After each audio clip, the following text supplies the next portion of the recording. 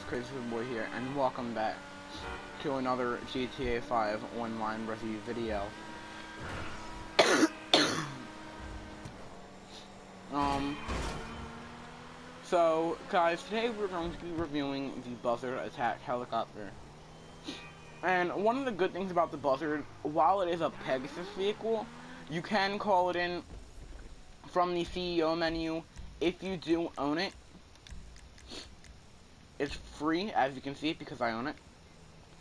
If you do not own it, you guys, in order to get it for free, you will need to pay. You will need to buy it from Warstock Cache and Carry for 1.75 million.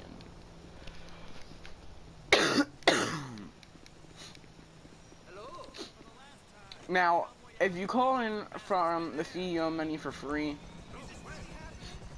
there is a bit of a wait time before you can call it again, but it's not too long. Um, just don't crash it, really.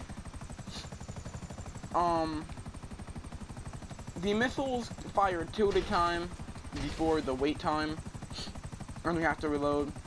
Like most hostile or lethal aircraft, you have homing, non-homing, and then you have the machine gun, which as always is completely inaccurate. The machine guns I usually find useless, unless they're the cannons on the Savage or the Hydra.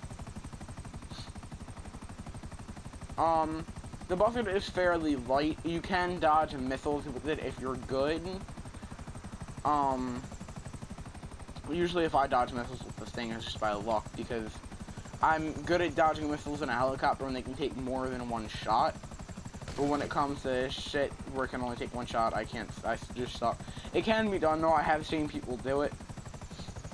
Um, you know, the animation for getting in now isn't too long, unlike the Savage.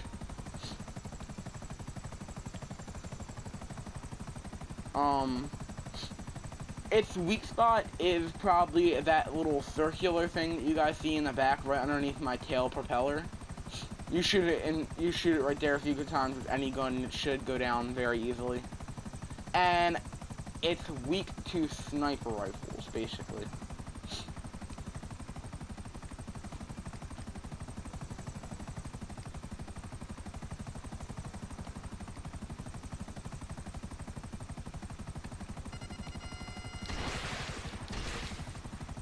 I'm gonna go shoot this guy down.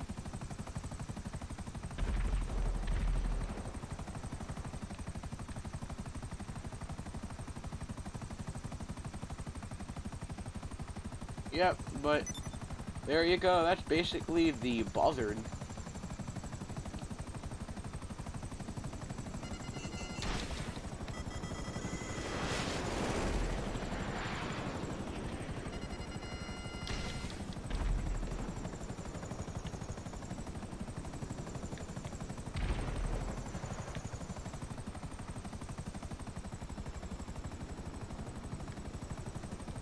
We didn't get him.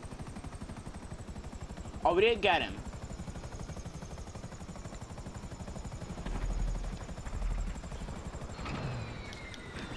That does it first for you guys. If you liked it, hit that like button, subscribe for more daily content. See you guys in the next one. Crazy Boy out. Peace.